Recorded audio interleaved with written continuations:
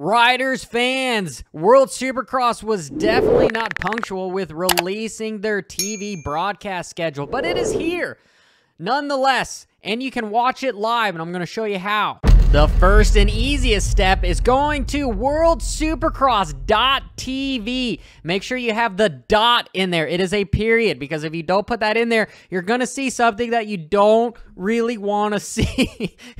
don't even try. It. Don't even try. But you'll go up to the top right, hit subscribe now, and depending upon your location of your IP address, it's going to show you, boom, you can purchase the race, $6.99. Why subscribe to $50, I'd say don't, nah, uh -uh, uh it's only two races, so $6.99 per race. It's, you're looking at, you know, 14 bucks, right? So, but if you don't want to pay anything, you can head over to Fox Sports 1 because they're actually going to show it live, where this is going to be a 24-hour delay.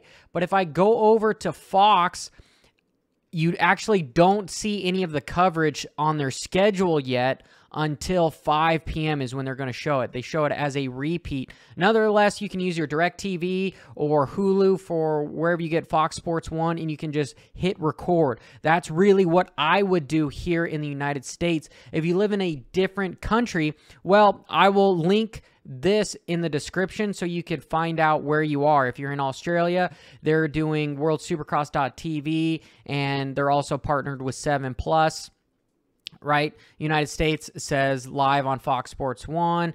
Uh, other territories, they're telling you where they should, where you have to go to watch the race. But you could also use this handy dandy VPN, right?